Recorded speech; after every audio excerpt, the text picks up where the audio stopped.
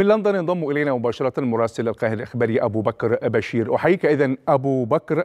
نتحدث دائما حول الهجرة غير الشرعية وأنها تؤرق دول الاتحاد الأوروبي وليس بريطانيا فقط لكن يبدو أن هناك ما يسمى بالقراءة الثالثة صوت عليها في مجلس العموم البريطاني لصالح خطة ترحيل اللاجئين إلى رواندا. كيف بدأت المناقشات؟ وخاصة أن هناك تشابك ما بين حزب المحافظين والعمال تجاه ما يحدث في هذا التصويت. صحيح. أقر مساء أمس مجلس العموم قراءة الثالثة وبأغلبية 44 صوتا خطة الحكومة القاضية بترحيل اللاجئين إلى رواندا. ملف الهجرة هو واحد من ملفات خمسة تعهد ريشي سوناك رئيس الوزراء عندما تولى منصب رئاسة الوزراء بحلها لكنها لم تحل منذ ذلك الوقت ولا يزال المهاجرون يصلون إلى بريطانيا بطريقة تصفها الحكومة بغير الشرعية. آه الذي حصل أن آه ذهبت الحكومة آه لفرض خطة لطرح خطة جديدة للتعامل مع الأسباب التي من أجلها لم تحل هذه المشكلة وهي أسباب قانونية بالأساس. الخطة الجديدة يرى المعارضون لها من داخل حزب المحافظين أنها تنتهك القانون الدولي وتسيء إلى صورة بريطانيا في الخارج ولذلك هددوا بالتصويت ضدها. هنا جاء أنصار ريشي سوناك للحديث مع المعارضين للخطة من داخل البرلمان بالقول أنهم إذا صوتوا ضد الخطة فإنهم فعليا لا يفشلون الخطة فقط بل يسقطون الحكومة كاملة وبالتالي يذهبون بالبلاد إلى انتخابات مبكرة.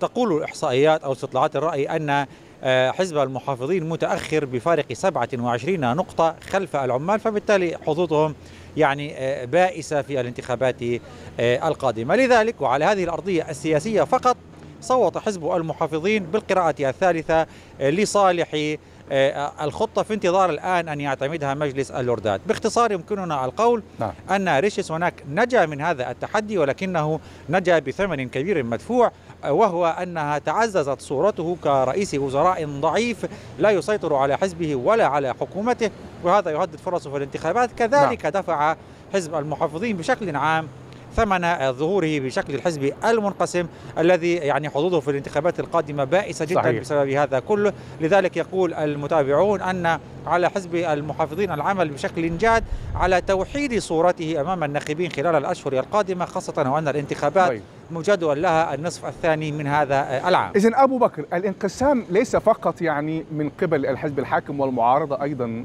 خارج المجلس العموم لكن يبدو انها أنه أيضا انقسام بداخل الحزب الحاكم كما تقول هل هذا الانقسام نتيجة مثلا لأسباب اخلاقيه صحيح. لأسباب أخلاقية مثلا وموت مئات اللاجئين أو المهاجرين أم أنه لأسباب أمنية تخص بريطانيا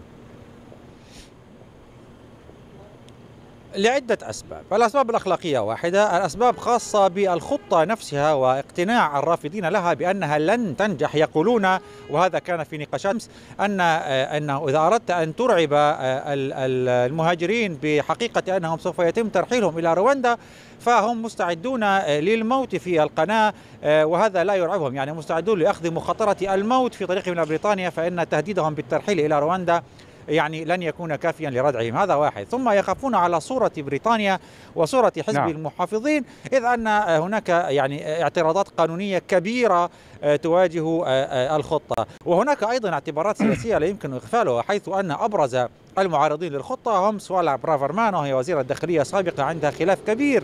نعم. مع ريشي سوناك كذلك بوريس جونسون رئيس الوزراء الأسبق وهم يريدون إسقاط ريشي سوناك بشكل أو بآخر يمنون أنفسهم بالعودة إلى إلى منصب رئاسة الوزراء أو المنافسة عليه. إذا سوف نرى ما يمكن أن يحدث من هذا التشابك بخصوص هذه الهجرة غير الشرعية في القادم. أشكرك إلى الآن من لندن أبو بكر بشير. شكرا لك أبو بكر.